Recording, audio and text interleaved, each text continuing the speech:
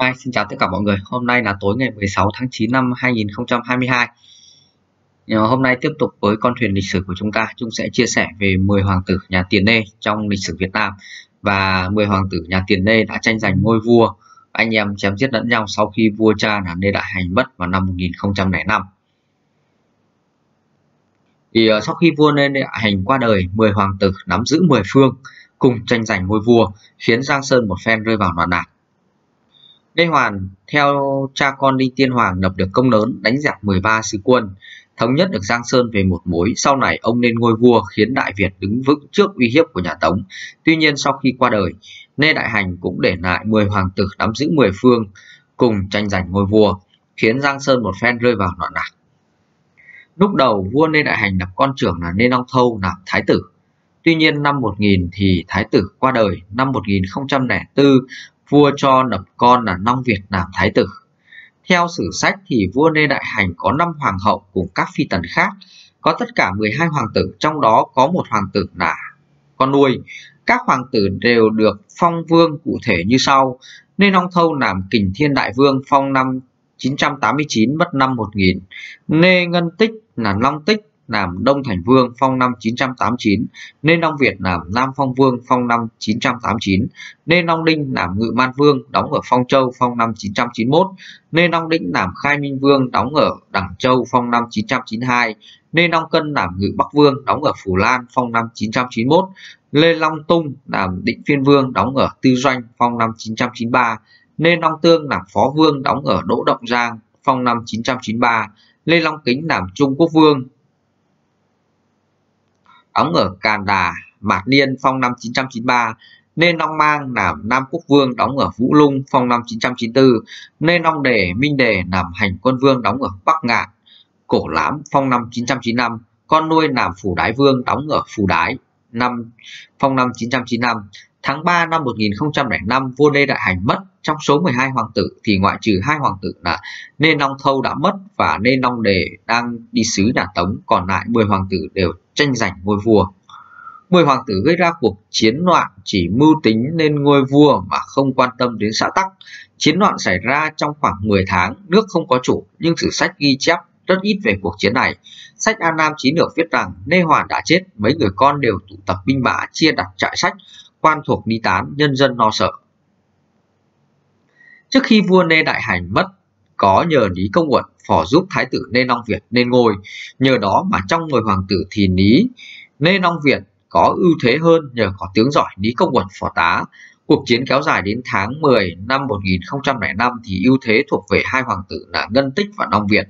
Cũng tháng 10 năm 1005 xảy ra cuộc giao chiến giữa hai hoàng tử này. Ai thắng sẽ chiếm được kinh đô Hoa Nư và lên ngôi vua. Kết quả quân của Ngân Tích bị đánh bại phải chạy sang đất Cử Long. Quân của Long Việt đuổi theo khiến Ngân Tích phải đưa quân chạy đến Chiêm Thành, nhưng đến cửa biển Hà Tĩnh thì Ngân Tích bị người dân ở đây giết chết. Nên Long Việt chiến thắng trở về kinh thành Hoa Nư nên ngôi vua, hiệu là Lê Trung Tông. Lê Trung Tông vẫn dè chừng các hoàng tử khác, nhưng không dè nên Long Đĩnh là vì em ruột của mình. Thế nhưng Long Việt lên ngôi mới chỉ 3 ngày thì Long Đĩnh cho quân trèo tường thành ban đêm giết chết anh ruột trong cung mọi người hay tin vua bị giết thì hoảng sợ bỏ chạy, vì sợ liên lụy, duy chỉ có Lý Công Uẩn hay tin vội chạy đến ôm xác vua Trung Tông mà khóc. Sau này, theo giã sử chép, phi tần của Lê Đại Hành là chi hậu diệu nữ một lần đi cầu tự. Lúc trở về, cung nằm mơ thấy hai con rồng từ trên trời xa xuống đất hóa thành hai đứa trẻ, tranh nhau mặt trời. Một đứa nói ta là anh sao dám giành người ta, đứa kia ngần ngừ trao mặt trời rồi quay đi. Nhưng suy nghĩ thế nào mà chỉ một lát sau nó quay lại cầm dao đâm vào anh rồi nói mặt trời là của báu của thiên hạ, anh thì anh ta cứ dành cho được. Cướp lấy mặt trời rồi chạy đi, bà diệu nữ giật mình tỉnh giấc, nhớ lại giấc mơ thì no nắng, ít lâu sau bà có mang. Năm 983 sinh được hoàng tử đặt tên là Long Việt, năm 986 thì sinh một hoàng tử nữa đặt tên là Long vĩnh Dẫu câu chuyện này là biên từ lịch sử ra hay là sự thật thì cuối cùng việc khuyết nhục tương tàn đã xảy ra. Đại Việt Sử Ký Toàn Thư chép rằng, Tại hành băng Trung Tông vâng di chiếu nối ngôi, Long Đĩnh làm loạn. Trung Tông vì anh em cùng mẹ không nỡ giết tha cho. Sau Long Đĩnh sai bọn trộm cướp đêm trèo tường vào cùng giết Trung Tông. Nên Long Đĩnh giết anh xong thì nên ngôi vua. Hai anh em hoàng tử là Long Cân và Long Kính không phục liền cho quân chiếm trại Phủ Lan, tập hợp thêm binh mã Long Đĩnh liền thân chinh dẫn quân đi đánh. Quân của hai anh em hoàng tử đóng chặt tại trại Phủ Lan cố thủ. Quân của Long Đĩnh đánh không thắng được liền bao vây chặt suốt mấy tháng liền. Quân trong trại bị bao vây thời gian dài, lương thực cạn kiệt, rơi vào đường cùng. Long Cân biết nếu đầu hàng thì bị giết chết, vì thế Long Cân đành sai thủ hạ thân tín bất ngờ bắt sống Long Kính rồi dâng nộp cho Long Đĩnh để đầu hàng. Long Đĩnh liền sai người giết chết Long Kính, tha cho Long Cần. sau đó Long Đĩnh đưa quân đến đánh Long Đinh ở Phong Châu, cuối cùng Long Đinh phải đầu hàng. Lúc này, các hoàng tử còn lại có phần sợ Long Đĩnh lực lượng lại không mạnh bằng, vì thế đều quy phục. Nhận định việc Long Đĩnh giết anh là Long Việt cướp ngôi, sử thần Ngô Sĩ Niên viết như sau. Trung Tông về tình anh em tuy là hậu, nhưng việc đứng chủ cúng tế nối dõi tổ tiên thì xã tắc là trọng anh em là khinh, huống chi là em bất tế. Lúc ấy trung tông phải nêu việc quản thúc thúc nha mà trị tội thì mới phải.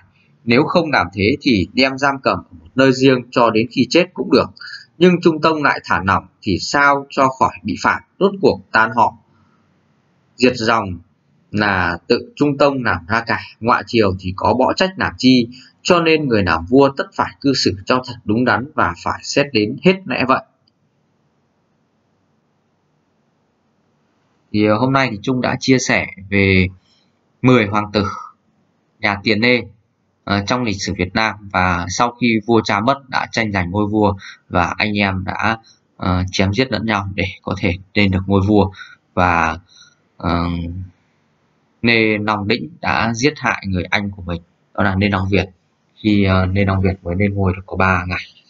Thì xin chào và hẹn gặp lại các bạn trong những video tiếp theo.